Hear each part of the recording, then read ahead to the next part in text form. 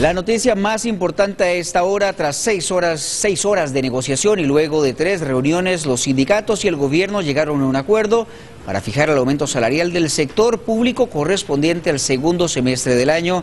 Por eso nos vamos en vivo a esta hora con Paula Brenes desde el lugar de la noticia. Paula, buenas noches, adelante.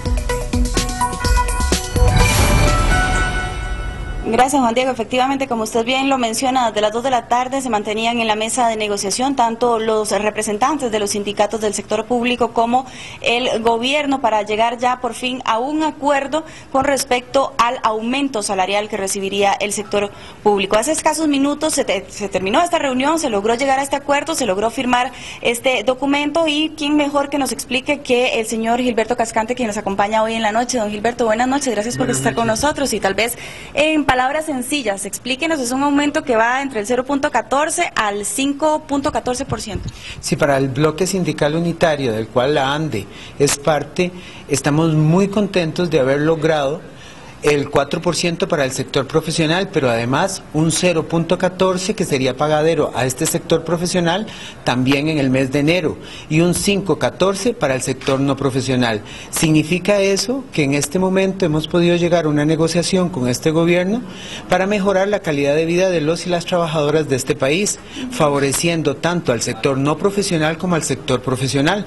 Por eso es que el bloque, eh, la propuesta del bloque sindical fue que se lograra ese 0.14 que nos quedaban debiendo todavía del reajuste por costo de vida de este semestre. Este, repetimos entonces, empezaría a regir a partir de enero este 0.14. Este 0.14 para el sector profesional eh, vendría a regir a partir del mes de enero, pero eh, sería pagadero este 4% para el sector educación a partir de la primera quincena del mes de septiembre y para el sector del gobierno central a partir de la segunda quincena del mes de agosto. ¿Están conformes entonces eh, la mayoría de los sindicatos con este acuerdo al que se llegó? Estamos bastante conformes con este acuerdo, pero además de eso, estamos muy contentos porque logramos eh, hacer un calendario de trabajo con el señor ministro.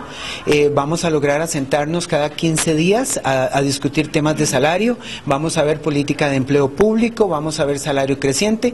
Creo que las dos partes estamos muy interesadas en mejorar la calidad de vida de los y las trabajadoras. ¿Qué fue lo más difícil de esta negociación? Porque fueron ya cuatro horas solamente hoy lo que duró esta reunión.